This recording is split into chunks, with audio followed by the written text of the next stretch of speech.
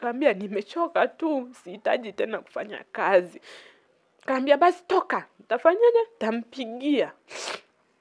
Kweli alimpigia, lakini walikuwa wanaongea kivingine, maana mwenyewe Kiingereza sikielewi.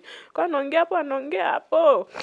mme mshahara wenyewe sio laki na nusu, mshahara ni shilingi elfu sabini na sifahamu kukipika. Ni bora hata ungeniambia twende nikafanyaje, nikakuelekeza, au na binti yako mkubwa hapo ungemwambia kaja akanifanyaje, kanisaidia kunielekeza, usinisumbue. Basi mi nikawa nimeondoka. Baadaye akaniita tena, kanipa manguo, sijui kamerunda ya mwezi mzima, hata sifahamu, kayachukua yote. Yes. Hello. Habari? Poa sana. Hey, my name is Edgo Diambo. I am a freelancer journalist. Uh, I have a certain sister of mine hapa. Eh? I have a certain sister of mine hapa ambaye alikuwa na, alikuwa akikufanyia kazi. Of course, to my amazing people, my name is Ed Godhiambo and I am a freelancer journalist from Nairobi, Kenya. And guys, uh, today I think I have this a special segment whereby I'll be hosting one of our ladies ambaye ametoka to our, you know, there's just a neighboring country na amepata kufika maeneo za Kenya kwa minajili tu ya kupiga hustling kama kawa kama wale wengine kama wasichana pia wengine ambao wanajituma.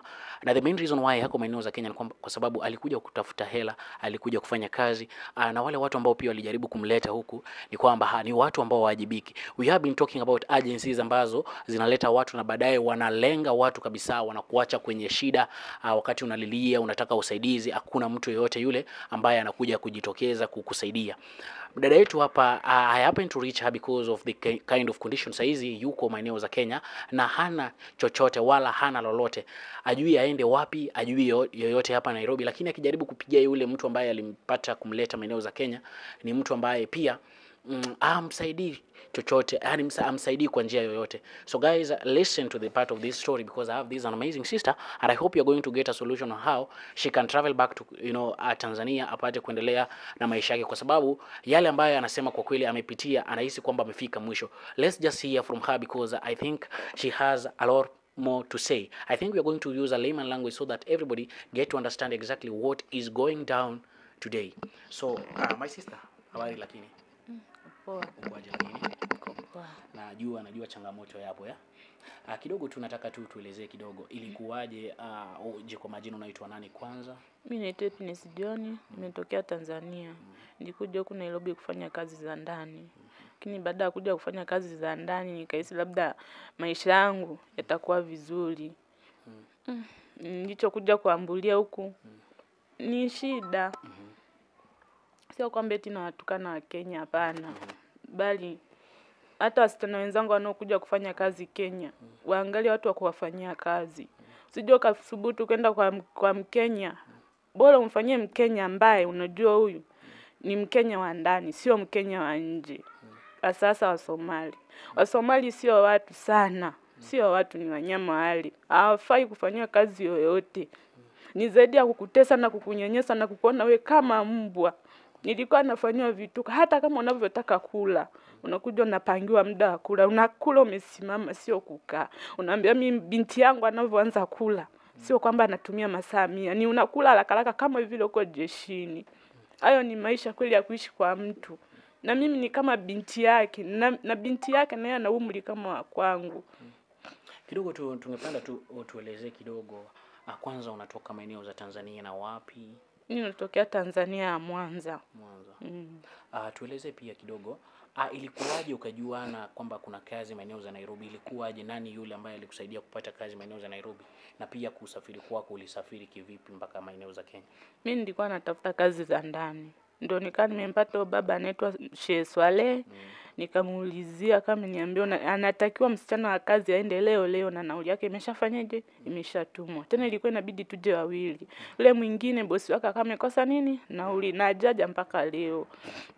Mimi nauli yangu ilikuwa imeshapatikana, ikabidi wanikatie tiketi, tukaenda naye mpaka hapo stendi, akanielekeza sehemu ya kufikia, nikawa nimefikia hapo silali, nikalala hapo. Kesho yake jioni ndo akawa amenipandisha, nikawa nimekuja huku Kenya. Nilivyofika Kenya sikuwa na chochote, ndo nikawa nimechukua hiyo namba ya huyu bosi wangu, nikampigia kama niambia chukua mwenye pikipiki hapo akulete mpaka nyumbani. Basi nikamempata mbaba mmoja hivi ameniambia ukishafika huku Kenya inabidi upate rafiki na uongee naye. Kwa nini? Kwa wema, maana unapoenda kufanya kazi hao watu hawaaminiki. Kesho na kesho kutwa unaweza ukapata tatizo, una ndugu wa kuongea naye.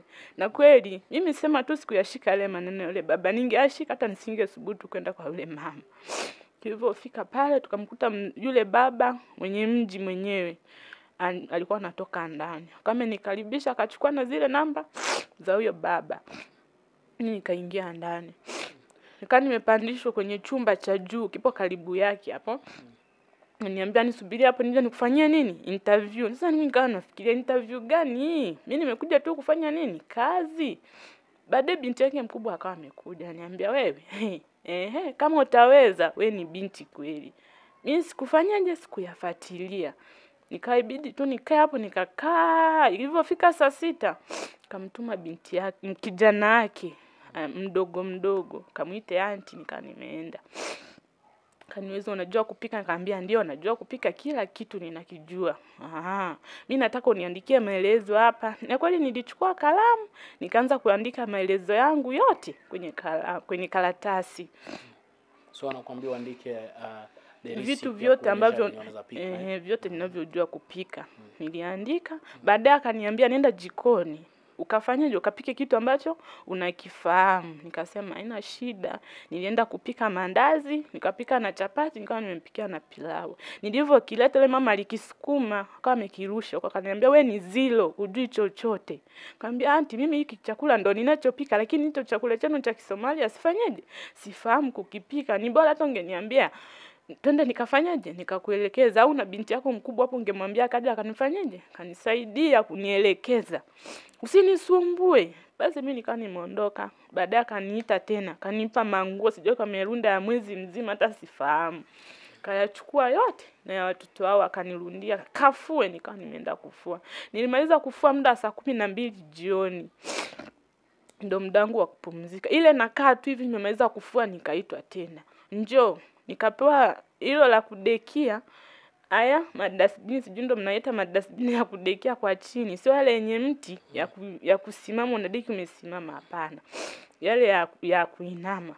Naambiwa yani nichukue omo nifute, yani kutumia nguvu. Unajua nguvu unadeki yani kwa kutumia nguvu, uchafu usionekana tamu, yani hata karatasi isionekane. Mi nikawa nafanya hiyo kazi, baadaye nikamfuata anti. Kiukweli mimi mgongo na nyuma siwezi kufanyaje kuendelea kuinama, na vyumba vyako ni vingi, vyumba kumi na tatu, sivifanyaje, siviwezi, vingine nitafanyaje, nitafanya kesho. Umekuja kufanya kazi au umekuja kulala? Nikamwambia hapana, sijaja kulala, bali nimekuja kutafuta pesa kwa ajili ya nani, ya mamangu. Matusi yakaendelea, matusi yakaendelea hapo. Eh, mi nikaona hii ni changamoto, hapana, siwezi fanyaje kuvumilia, ni heri nimfate nikamwelezee. Sasa mi nikaa naogopa, mi huwa namwamini sana Mungu. Nikaingia chumbani kwangu, nikapiga magoti, nikaanza kulia, nikamwambia Mungu, naenda kumfata huyu mama, naomba unisimamie nipate ujasiri wa kumwelezea kinachoniumiza rohoni. Kweli nilimfata, yani ni kama tu ujasiri ulinijia. Nikamfata anti, naomba umpigie shehe mwambie kwamba mimi nimechoka kutafutia mfanyakazi mwingine, mimi siwezi. Akaa amenguna niambia he he, umechoka nani? Nikamwambia nimechoka tu, sihitaji tena kufanya kazi. Kaambia basi toka, nitafanyaje? Tampigia. Kweli alimpigia, lakini walikuwa wanaongea kivingine, maana mwenyewe Kiingereza sikielewi. Kwa anaongea hapo, anaongea hapo. Mimi mshahara wenyewe sio laki na nusu, mshahara ni shilingi elfu sabini na aliniambia ya mwenyewe kwa mdomo wake, kaniambia hizi siku ulizokuja siwezi kukulipa laki moja na nusu, nitakupa shilingi elfu sabini ndo itakayo ku- nitakayo kulipa. Jinsi unavyozidi kufanya kazi ndo nitakuwa nazidi kukuongezea nini mshahara. Kasema eh, kwa hiyo shia kipindi natoka kule alikuwa ananiambia mshahara nikishafika nitapewa laki moja na nusu na nitakuwa napewa kule nguo. Je, ningeacha hata nguo zangu ningekuwa navaa nini? Nize, So, oh, that is 70,000. Yani Eh. that is 7 7,000. Mm, Kwa alikuwa anakwambia ah, baadaye ah, nani? Yani kila huko sheka alikwambia eti ah, watakuwa nakulipa Eh, yani elfu kumi na- mo- elfu kumi na tano. Mm, laki Alafu moja na nusu. Wakakwambia kwamba watakuwa kulipa sasa ya elfu sabini yeye mwenyewe mwanamke mwanamke ndo aliyeongea. Kawa anasema nita- hiyo hela yenyewe hata haikutosha hata nauli haitoshi nikamwambia kwa hizo siku bosi nilizofanya kazi kweli nauli isinitoshe? Hapana naomba tu nipatie mimi hata chochote. Yaani hata shilingi elfu kumi tu naomba unipe niende pale nani kwenye wanapokatia tiketi nikafanyeje?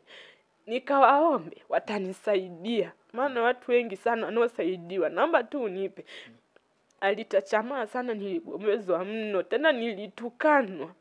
Sikuamini hiyo siku, kabidi tu niondoke, nikaingia chumbani kwangu nikaanza kulia. Baadaye akaniita tena, kaniambia pika chakula cha watoto. Nilimwangalia maana mara ya kwanza nilivyokuja nikimwaga chakula, jeki nikipika basi niliingia nda huko jikoni nikaa napika. Basi nzuri ile mtoto wake tulikuwa tumeelewana, akaja akananielekeza, kumbe kwenye kamera anaona kila kitu kinachoendelea. Akamwita binti yake unamwelekeza endo ukija kazi humu ndani. Binti nakasema hapana, mbona tu nikamwelekeza, maana hiki chakula unacho ulichomwambia akipike afanyeje, akiwezi ni cha Kisomali, nisikuone ah, ikawa ni shida. Sasa bahati nzuri dirisha lilikuwa ni karibu na nini na jiko. Kila nilichokuwa nakifanya, binti baada ya kutoka kula akawa amekuja akaanza kunielekeza, fanya hivi fanya hivi. Nikamwambia haya, hilo si So, alikuwa anakuelezea kwa dirisha Eh, hilo usiende kumwambia nani? Mama. Kaambia hata haina shida, sijali, sitamwambia. Kasema haya. Siku zikaenda, ni mabango mabango mabango. Siku hiyo nilivyochomwa moto hapa na penyewe nilimfuata. Kamwambia anti, mimi nahitaji kwenda nyumbani. Najisi kama vile homa. Alafu nahisi kama yule mama yangu hayuko sawa huko hivi bado ujaacha hujaacha tu kuja kuniambia ujinga mama yako. Wangapi hawana mama lakini bado wanaishi? Kaambia anti, kweli unanitukania mama yangu?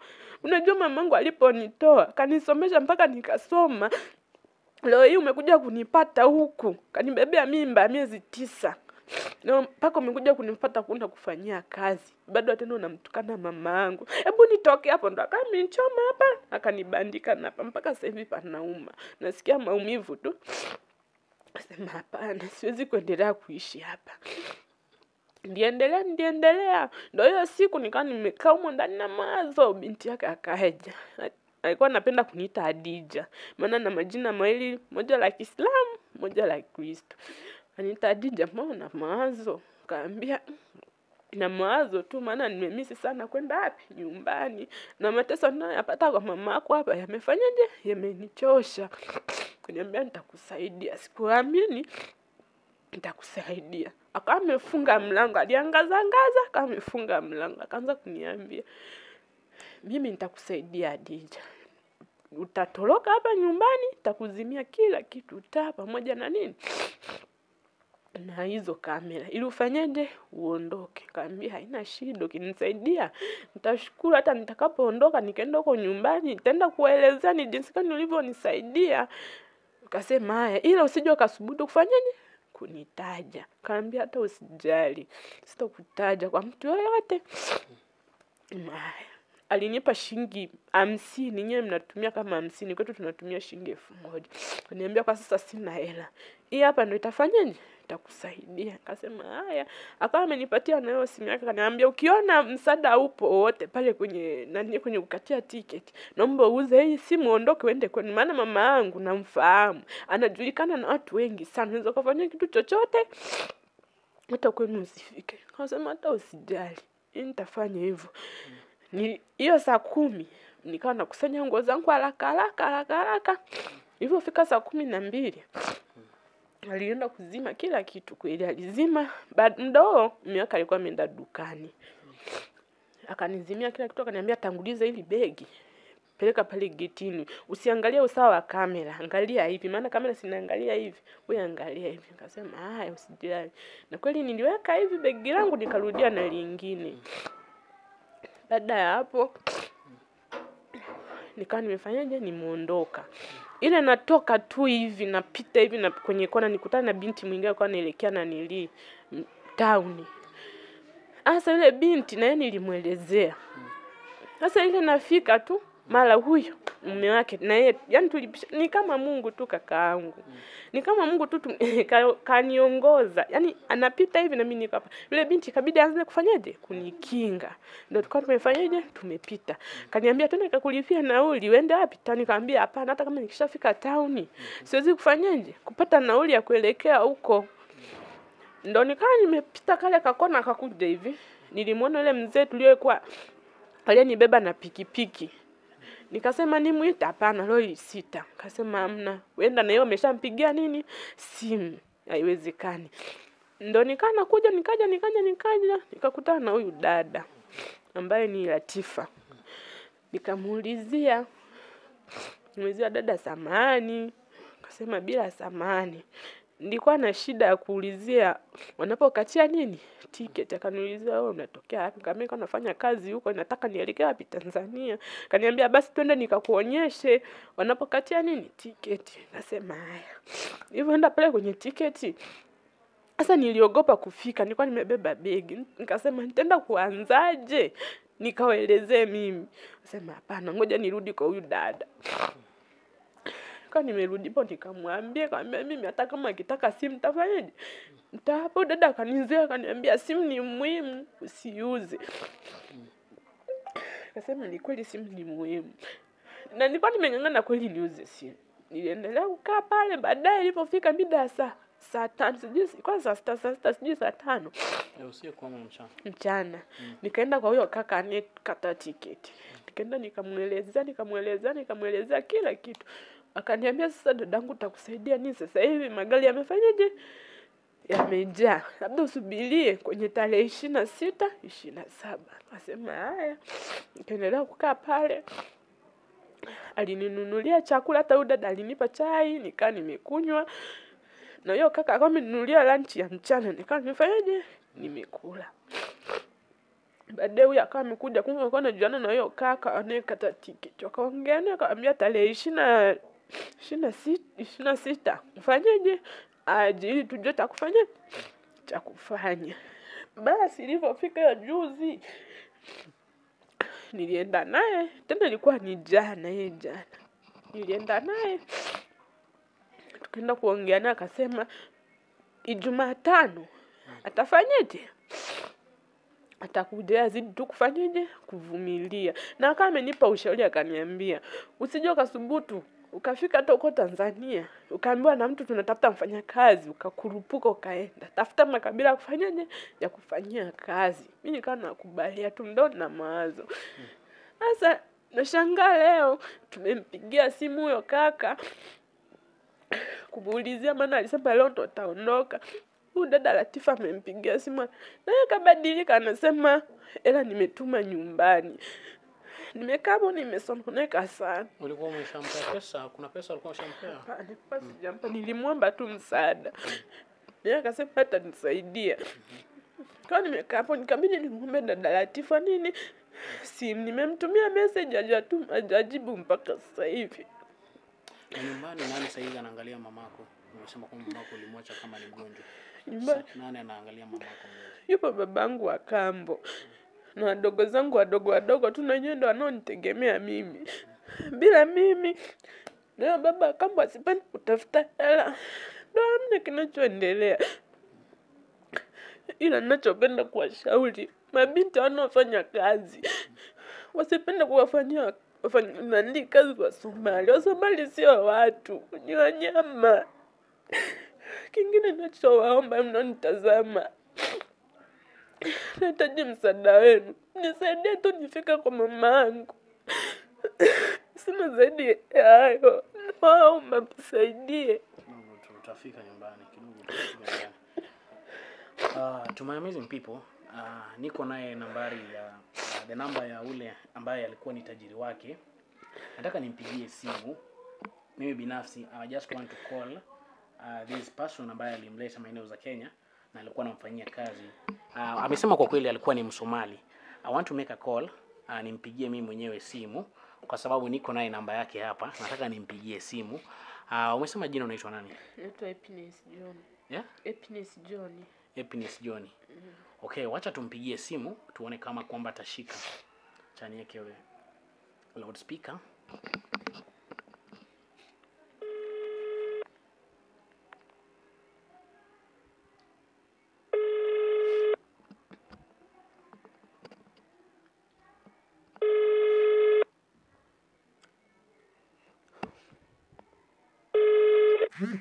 Yes. Hello. Habari? Poa sana. Hey, my name is Edgo Diambo. I am a freelancer journalist. Mhm. Uh, I have a certain sister of mine hapa. Eh? I have a certain sister of mine hapa ambaye alikuwa na, alikuwa akikufanyia kazi. Kuna one of our sister hapa alikuwa anakufanyia kazi, ametoka maeneo za uh, Tanzania, Eh. anaitwa Adija Ehe. na saizi yuko maeneo za Kenya and she is stranded eh? Ehe. So I happen to uh, like have a talked with her na kanielezea all of these kind of uh, chenye anapitia mpaka sasa hivi sasa bado yuko stranded hapa maeneo za Kenya. Ehe. So I wanted to know exactly process any document that you guys mko nayo ya kuonyesha kwamba this lady was allowed to travel kukuja maeneo za Kenya. Do you have any document zake za kuonyesha she was allowed to travel because right now No. She's like an alien. For what I know information about her, Uh-huh. she's from Spania. Yeah. I don't know if she's from Tanzania, but she told me she has come from Migori, I think so, from there. Mhm. So when she came, she tried to work for me some days or almost four days. Was it four days or five days? Mhm. Akaiba vitu za wenyewe. Mhm. Morning hours ndo amehepa msichana. Mhm. I tried to follow up her, call, her phone, nimekosa kabisa. Mhm. Kuna mara imelia lakini she has not received. Amezima. Uh-huh. I reported the case to the police. Uh, which police station?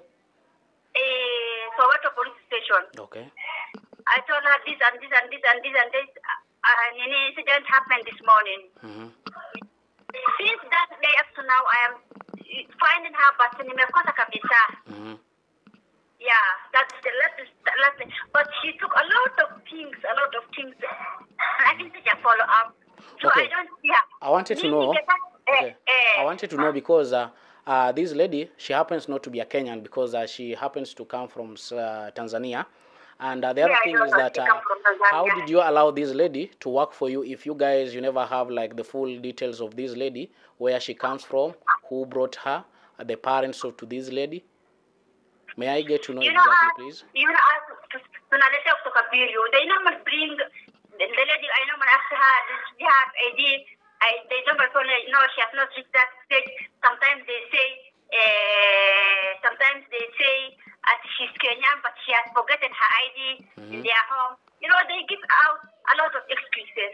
Mhm. Now, because I think I have the full details about her, uh, you know, how she happens to travel, I wanted also to know exactly because uh, if uh, this lady happens to work for you, you have like a certain agreement between you two people because you cannot just allow somebody to work for you if you don't have the exact details. That's why even if you claim that this lady happens to steal something from you guys, you need to have the details on how you can trace this person because you cannot live with a person and yet if something happens you don't know exactly where to start like you know tracing this person were the parents informed about her Yeah.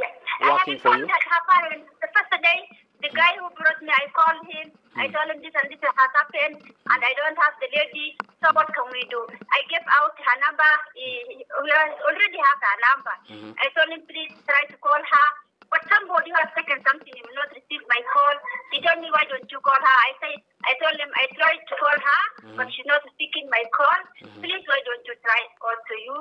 Mm-hmm. You see if, she was going to pick the call from you. Since that day, but she has put off her phone. So now, even me myself, I was stressed. Where, where is she? I don't know.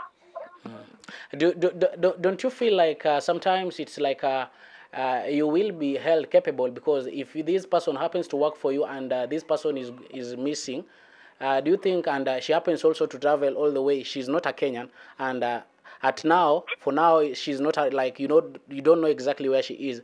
Do you think is a threat to you that uh, the whereabout of this lady is more concerned? You know, yes, yes, it is. But uh, if the lady, she has gone intentionally, she knows that she where she was going to. I'm sure 100% she's within Nairobi, but I don't know exactly where she is. Mhm. And I tried to find her where called to outside there, ask these uh, borders which are outside, but I was unable to find her because the world of today is not the world of uh, footing and finding someone. I tried to call her. Her call is off. So, brother, I was unable to even message my address of where is this lady. The last CCTV camera, when she was leaving that morning, I have it. Okay. Yeah. okay. And uh, So, l- when she was lastly, so okay. Eh. Lastly, because it was good also to listen to you know the part, the other part of uh, uh, the the you know uh, the accused, so that when I happens to publish this, I think it is good also to give the other people also the chance of reply, yeah? the right to reply. Yeah? Meanwhile, I think uh, I have her here, and uh, before I wanted also she can also happens to talk to you. We get to understand also the part of you know what do you know about her. I think you can just still communicate with her. Yeah, hello. Hello, Hello. habari boss. Nzuri sana mami. Za mateso yako, Eh? za mateso yako, Mzuri tu mzuri. unaendeleaje? Kwa salama mami. Hivi basi ulichokifanya kwangu nakiona ni kizuri sana. Eh mami. Ulichokifanya kwangu nakiona ni kizuri sana. Ni vingi sana bosi ulivyonifanyia. Mpaka sasa hivi bosi nakuchukia, mpaka maisha yako yote nayachukia bosi, ujui tu. Ulinitoa Tanzania ukiona niambia utanipenda kama binti yako. Ni hayo ndo mapenzi? Unaongea na Adija, ndo mimi. Kwanza Happy nikuulize mami. Eh, ni Kuna kitu ya ku- ku- kuna kitu yoyote nimekufanya mimi, ogopa Mwenyezi Mungu. Na hivyo hapa kwangu kuna kamera inaonyesha ile asubuhi ulikuwa unatoka umeenda na vitu vitu zetu zote, umeenda na maunguo, umeenda na simu ya watu Mm. umeenda na chakula, umeenda umeenda na bedsheet. Hata mimi sitamani ile kitu umeenda. Kuna Bosi. yoyote amekukosea? Bosi, nikuulize swali bosi. Eh, Kuna kitu chochote ulichokikuta kimepeleamwa ndani hata chakula chako? ile kitu umechukua yote mami, unajijua wewe mwenyewe. Ah, ah, sio anajijua mimi mwenyewe bosi. Hata huyu dada aliyenipokea hapa nilio ndiye ninakaa naye, hata yeye ni shahidi. Sikuchukua chakula chochote zaidi ya ya nimtaje. Umechukua nini? Sikuchukua chakula nini, chako unavyodai eti sijui nimechukua chakula chako, sijui nimechukua sijui nguo zako. Hivi kwa nini bosi wewe ni mwongo sana wewe? Eh? Kwa nini Ah, usimku ah, ah, ah. Mimi si mwongo, wewe ndio umeharibu. Mimi nilikwambia siku ile kama unataka kurudi, wewe umeniambia umetoka. Haya, binti yako mwenyewe ndo aliyenipatia simu. Alafu mnasema eti kwamba niliiba. Haki ya Mungu bosi, pesa yangu utairudisha. Labda mimi sio epi niliyetokea Tanzania. Ah, Mimi mimi ile pesa ambayo nimekulea eh, Kwa nini ulikuwa naingang'ania kila nikikwambia bosi nipatie nauli niondoke, na niambia wapigie watu wa nyumbani kwenu wa kutumia nauli, mara unasema mzee kasema akutaki Ah, ah, ah, ah, ah, ah, ah, Wacha kuniwekelea kwanza, rudisha ile simu umeiba mami. Hamna mtu aliyeiba simu, binti yako ndo aliyenipatia. Hamna mtu aliyeiba simu. Siwezi kuiba kitu cha mtu mimi bila kumwomba Hiyo tabia sijaizoea na wala sijafanya kwetu. Kwa nini unichafulie jina? So guys, uh, ame amekata simu kwa sababu uh, when our sister alikuwa akiongea akizungumza, amekata simu. Uh, I, I want to call, najaribu kumpigia mwisho, we see if atakubali kupokea simu yangu. Acha nimpigia mwisho tusikie kama atakubali kupokea simu tena. So I'm calling, nampigia tena tusikie kama atapokea simu.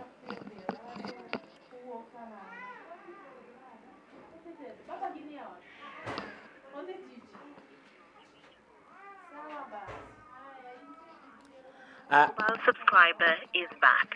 If you Uh, jamani uh, inamaanisha kwamba kuna ukweli ambao uh, kwa kweli imedhihirika kwa sababu I'm trying to call the person na ina kwamba kama amefunga simu. Wa inaingia tena, alikuwa amefunga lakini tena inaingia. Hatujui kama sasa tashika ama vipi.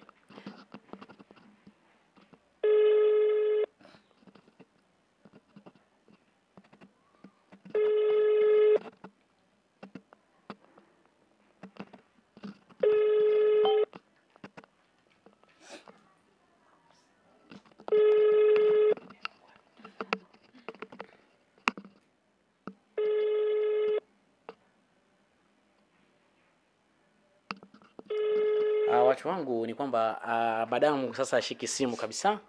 Uh, unaweza ona kwamba ashiki simu. But meanwhile guys wacha tu nizungumze kidogo. Uh, amesema kwamba mwanadada huyu uh, alimpata kumibia vitu fulani fulani lakini amejaribu pia kujiexplain pale akijaribu kumwelezea alafu baadaye tumeona kwamba amekata simu. Amekata simu kidogo akaenda offline kidogo tena karudi, lakini sasa amekataa kushika simu kabisa. Meanwhile guys wacha niulize tu kidogo.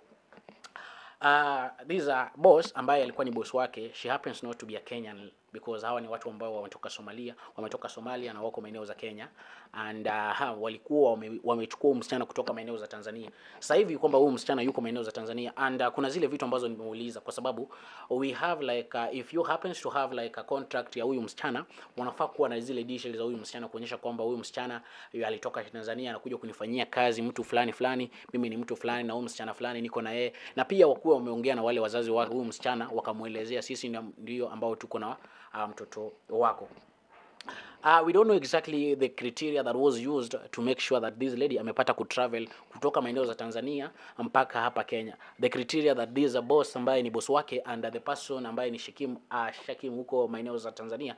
We don't know exactly the process that these people happens to use. Ndio huyo mwanadada akafika hapa. Kidogo tu pia ungetuelezea how old are you? Uko na miaka mingapi? Na miaka ishirini. Ako na miaka ishirini. So uko na mtoto ama wewe bado huja hujakuwa na mtoto? hapana. Hauna mtoto? So guys alikuja maeneo za Nairobi hapa kwa, kwa minajili tu ya kufanya kazi na kutafutia wale wadogo wake ambao wako huko na pia mamake mzazi ambaye inasemekana kwamba yuko maeneo za hospitalini yeye anaugua auvimbe uvimbe kwa tumbo ya? So guys mimi chenye najiuliza kwamba why uh, bosi wake mbona akakata simu kwa sababu uh, it is not good to akate simu alafu baadaye nimejaribu kumpigia pia ashiki. Let me just do the last call nijaribu kumpigia simu ya mwisho kabisa. I just want to call this uh, boss ya mwisho kabisa.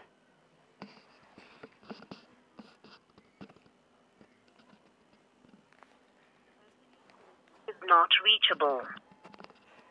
We will notify you when the mobile subscriber is back. Oh, so jamani amepata kufunga simu. Inasema ukweli kidhihirika, uongo uijiondoa kabisa. Sasa guys, you can see. Guys, uh, give us a the comment section. Tuambie, tuelezeni what do you think about the, our sisters issue. Issue yake kabisa. Wewe unaionaje? Uh, tunaona kwamba wasichana wetu tu, mara kadhaa tumekuwa tukiongelea wasichana wetu kuteseka maeneo za Saudia, uh, you know the Gulf country that is uh, uh, Iraq, uh, nini uh, Syria, we have uh, uh, you know uh, Gulf at large eh? mambo na Saudi uh, you know Iraq Lebanon. And now today it happens that our sister anaona kama Kenya ni kama some of these Gulf countries. Anaona ni kama Lebanon ingine iko maeneo za Kenya kwa sababu yale mateso ambayo amepitia. Hata yeye mwenyewe amesema kwamba haezi ruhusu haezi hata kubalia haezi hata sema kwamba uh, apeane proposal ya kwamba watu wakuja wafanye kazi wafanyie uh, wasomali ambao wako hapa Kenya kazi. Tell us at the comment section. What do you think about this? Like uh, lastly wacha tusikize kutoka kwa dada yetu. Uh, uh, uh, unge, ungependa kuelezea watu nini ama ungependa uh, watu wakusaidie kivipi? Mi ningependa tu wanisaidie nifike nyumbani mm. ili tuangalie jinsi ya kumsaidia mama yetu. Maana ndani yetu tegemea. Mm. ndo hicho tu nilichokuwa nawaomba. Mm. na pia sio kwamba nawatukana wakenya hapana. Ila nawashauri tu wanawake ambao wanataka mabinti zao wakafanye kazi kuanzia Kenya, Tanzania na nchi zingine tu za nje, wasije wakamruhusu binti yao akaenda kuwafanyia Wasomali kazi. Wasomali ni watu wabaya sana, wabaya mno. Ni heri ukamfanyie Mkenya wa ndani ambaye unajua huyu anaaminika, ana, anatambulika yani sio ukwenda kwa wao ambao unashindwa hata kumjua mama yake. Zaidi ya kupewa tu ma, majanga tu. Unavyomwelezea mamangu anaumwa anazidi kukutukana. Mara anakwambia mi mwenyewe nina mama. Kwani wewe tu ndo una mama mwenyewe? Mi ningawashauri tu mabinti wenzangu msisubutu msije mkajaribu. Na hata kama ukiwa unakuja kwenye nchi tafuta mtu ambaye unajua atakusaidia. Kama nilivyosaidiwa mimi na hawa watu. Kwa sasa nilikuwa bila huyu binti huyu dada Latifa pamoja na huyu rafiki yake. Ningekuwa wapi mimi? Zaidi ya kufanyiwa kitendo kibaya na kurudi nyumbani kwetu. Yani tena ningerudi tu nikiwa na ujauzito amna kingine. Uta- utaenda home utaenda home uh, you, you, uh, i think you guys eh? uh, you know guys how we do it eh? meanwhile uh, we need to support our lady afike maeneo za uh, tanzania aende apate ku uh, and if possible also if possible god willingly and if possible i also need to go and visit her, her in tanzania and i hope so i think the last moment atakuwa na travel and if we happens to you know chip in tumsaidie kadri tuwezavyo i think guys tutaangalia jinsi ya kumsaidia tutaangalia like possibly tutaangalia jinsi ambavyo tutakuja kumsaidia. If anybody mwenye ako tayari kumlipia hata ticket ya- yani ticket kutoka hapa maeneo za hapa alipe ticket hata online. Ani, ani, anitafute tu alipe ticket mimi tayari nitakuja nimpe ticket na ni make sure amepanda gari anaelekea maeneo za Tanzania Mwanza Tanzania. Na itakuwa ni sawa I'll appreciate. That is the only thing that our sister right now anaomba sana. Ni watu wale ambao wanajaza kujitokeza wamsaidie tu kwa sababu yeye amefika mwisho na nahisi kwamba Kenya sasa hivi uh, nataka tu kuenda nyumbani aende angalia mamake mzazi ambaye yu inasemekana kwamba anagonjeka kabisa yuko maeneo za hospitalini. So guys my name is Zed Gudhiambo a freelancer journalist from Nairobi Kenya. It was good and also nice meeting my sister and also sharing this kind of moment.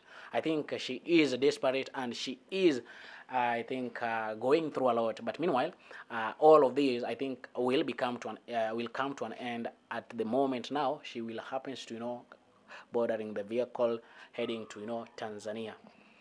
To my friends from Tanzania, I was your host Edgar Odhiambo and I, I am a freelancer journalist from Nairobi, Kenya. Tanzania nawapenda sana uh, and you guys the respect you guys were showing us. I think it is just a minor case that has just happened but I, you, we know that kila kitu itakuwa sawa. Our sister atarudi maeneo za nyumbani and I'm assuring you guys we are going to make sure that our sister amefika maeneo za Tanzania.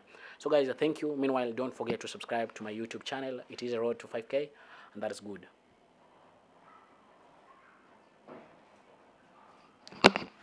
Weka pause.